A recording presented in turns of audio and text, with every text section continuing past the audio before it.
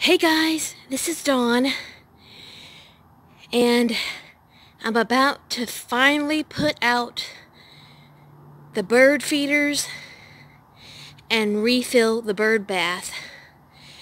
As you can see, the shepherd's hooks have been put into buckets of concrete so that hopefully they'll stay standing up straight now instead of leaning over because the ground is way, way, way too soft and they would fall over all the time.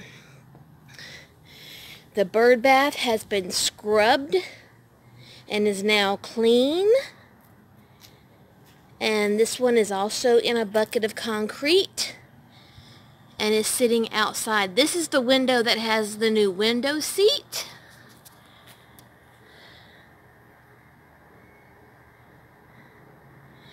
And Miss Dawn is about to put up the new bird feeders.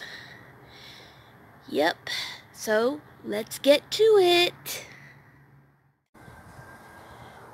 Okay, one bird feeder filled. Bird bath filled with fresh water. Bird feeder filled.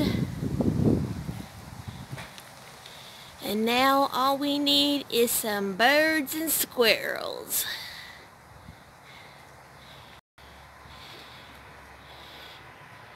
Is everybody ready for the next season of As the Bird Feeder Turns?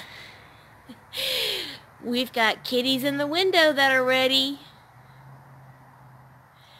Okay guys, it is cold out here and Mama is ready to go back in the house.